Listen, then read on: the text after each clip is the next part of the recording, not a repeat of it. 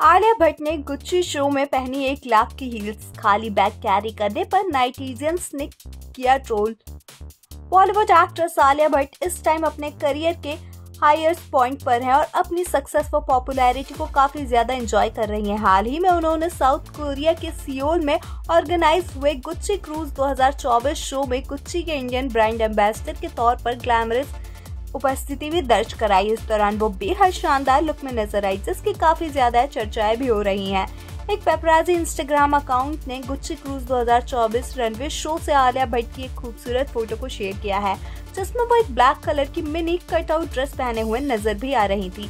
उनकी ड्रेस में एक बंद नेकलाइन क्रिस्टल स्टोन्स और राउंड कटआउट डिटेलिंग्स थी आलिया ने अपने लुक को smoky eyes pink clips plus shakes high laced cheekbones और एक स्लिक पोनीटेल के साथ कंप्लीट भी किया था और भी ज़्यादा निखरी हुई एक्ट्रेस नज़र आई।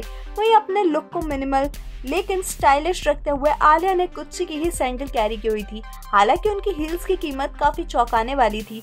जी यहाँ कुछ रिसर्च करने के बाद हमें पता चला कि आलिया की इंटरलॉकिंग जी स्टाइट गुच्ची सैंडल एक हज़ार दो सौ नब्बे डॉलर की है। इंडियन करेंसी के मुताबिक जिसकी कीमत लगभग एक लाख रुपए की बताई जा रही है। इवेंट के लिए Alia mini bag bodycon dress में काफ़ी ज़्यादा खूबसूरत भी नज़र आ रही थी।